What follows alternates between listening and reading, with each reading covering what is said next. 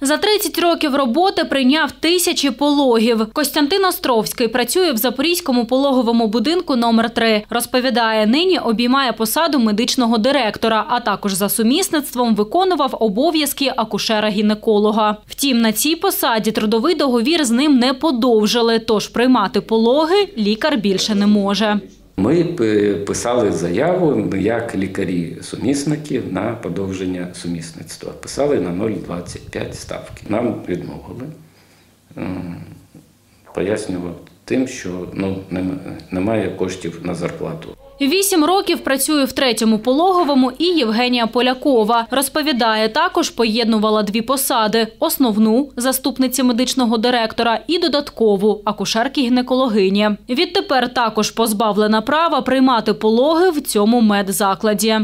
Трудовий договір у нас був на рік, і кожен рік ми писали його, продовжували. В цьому році нам цей трудовий договір не продовжили. І мені Костянтин Володимирович нам видали накази про звільнення сумісництва. Євгенія Полякова каже, згодом керівництво медзакладу внесло зміни і в їхні основні посадові інструкції. Тож відтепер лікарі не мають права надавати медичну допомогу пацієнткам, а можуть лише контролювати роботу колег. Коли надаємо допомогу, якщо це при пологах, приймаємо пологи, потім дивимося за всіми ускладненнями. Якщо ми контролюємо надання медичної допомоги, то це означає, що я взагалі не маю права торкатися жінки і пальцем.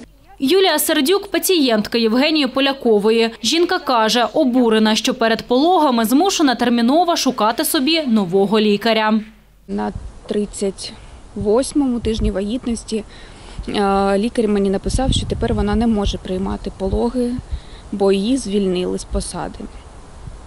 І тепер я е, ну, не то, що не, не, не- не просто шукаю нового лікаря, я принципово шукаю інше пологове відділення, інший пологовий, щоб народжувати саме там. Директорка третього пологового будинку Лариса Василенко пояснює, з лікарями не подовжили трудовий договір на посадах за сумісництвом, бо це економічно невигідно медзакладу. У мене всі лікарі, всі завідувачі працюють на ставку. Е, Як я можу пояснити, що медичний директор отримує ставку медичного директора і ще півставки лікарняна, ну як лікаря? Ну я вважаю, що це несправедливо. Зміни ж в посадових інструкціях Островського та Полякової директорка пологового пояснює так.